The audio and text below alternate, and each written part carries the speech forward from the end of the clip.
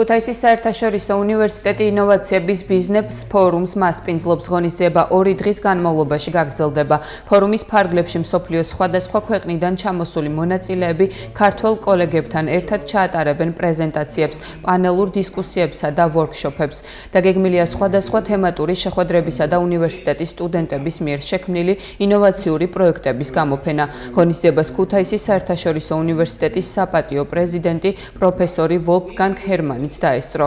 ფორუმის მიზანია უნივერსიტეტში მეწარმეობისა და ინოვაციების დანერგვა და განვითარება. დღეს და ხვალ ქუთაისის საერთაშორისო უნივერსიტეტი მასპინძლობს საერთაშორისო ინოვაციების ბიზნეს ფორუმს, რომელიც აერთიანებს ინდუსტრიის, კერძო სექტორის, მთავრობის და საგამართლებლო სექტორის ორგანიზაციების წარმომადგენლებს, როგორც საქართველოსდან, ასევე ამერიკის შეერთებული შტატებიდან, გერმანიიდან, ისრაელიდან, იაპონიიდან და ევროპის სხვადასხვა ქვეყნებიდან.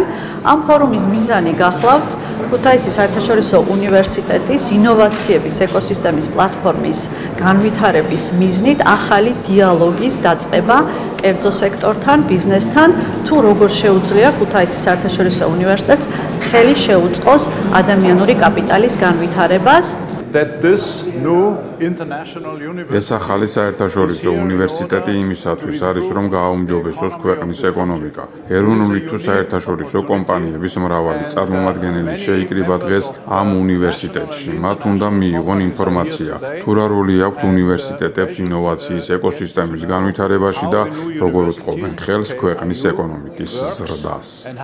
და ეს Te S programa i ställning med snabbare utomdom har så just innovatia uh, saker veloci.